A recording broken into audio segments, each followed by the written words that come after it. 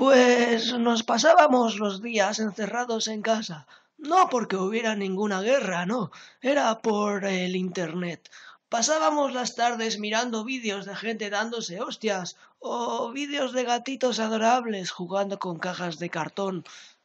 ¿Pero qué mierda es esa, abuelo? Cuéntame algo de alguna batalla que vivieras o alguna revolución o algo así. Oh, oh, gatitos cayendo de forma divertida y tocando el piano.